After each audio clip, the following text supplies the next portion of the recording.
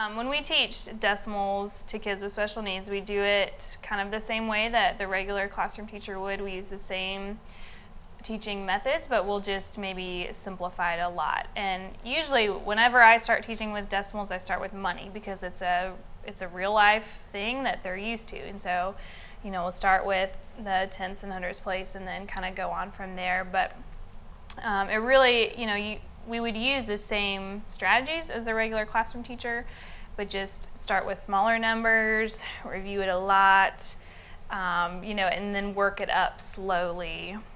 Where you know where the regular classroom teacher they could probably teach decimals in a couple days and they would get it. Something that's um, anything if you can connect it to a real life skill and ability, then that's great. Um, I would definitely I would make sure that they understand regular place value first. You know, before you even get to decimals, you have to make sure they understand the ones, the tens, hundredths, you know, on up this part, this way the decimal.